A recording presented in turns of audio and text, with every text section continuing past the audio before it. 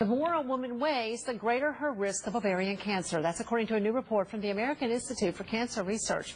To talk about this this morning is Dr. Zoyla Almeida, a gynecological surgeon who specializes in oncology with the West Boca Medical Center. To talk more about what all of this means, another study that I think can uh, scare women because number one, obese, or ovarian cancer is such a deadly cancer, and it's a silent cancer, isn't it? It is. Ovarian cancer presents late. We usually pick it up at stage three. It's very insidious, and it presents with very vague symptoms. So when we talk about body fat, is it slightly overweight or is it obese? So by definition, it's body mass index of 30 or greater. And there is a calculation that you can do that um, basically calculates your weight and height. But there are many, many other risk factors, and there's other factors that play within obesity. Now, you know, for society, I mean, I wonder how disturbing this is to you when we're in a society where we talk about obesity being such an epidemic. How disturbing is this latest report to you? It is very disturbing. We know that obesity is linked to many cancers, such as breast, uterine or endometrial cancer, um, prostate cancer, colon cancer, etc. So it's not limited to ovarian cancer, but because ovarian is so difficult to detect, I would imagine it's of greater concern. It is a great concern. So what are some other things that a woman can do to cut the risks? So I believe the number one way to cut your risk for ovarian cancer is to know your family history. We do know that there are genetic mutations that predispose you to ovarian and or breast cancer.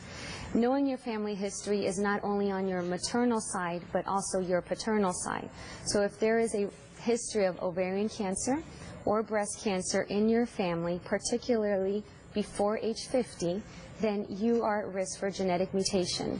All right, and there's a test for this, is there not? Yes, it is called the BRCA test, BRCA testing. It is a genetic testing, very easy to do, saliva or blood. And there's also um, another test called HNPCC or Lynch syndrome. Those patients can also be at risk for ovarian cancer. So knowing your family history is very, very key.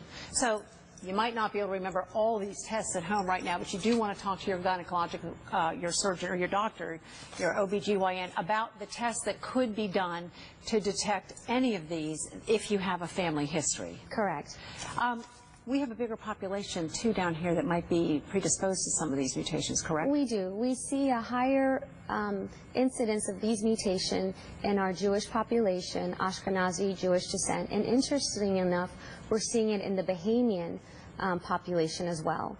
And once you are diagnosed with this mutation, there are several things that you can do to prevent and drastically reduce your risk for cancer. The takeaway with this is get, know your family history, and diet and exercise still remain paramount. Know your family history and have an active role. And uh, you can do surgery to remove those ovaries. At West Boca Medical Center, we are now doing a single incision robotic surgery, the first in the county. Great. Well, let that be the last, the last word, but we know you're always making advances in these things. Thank you so much, Dr. Almeida, for being with us. Thank you. Back to the anchor desk.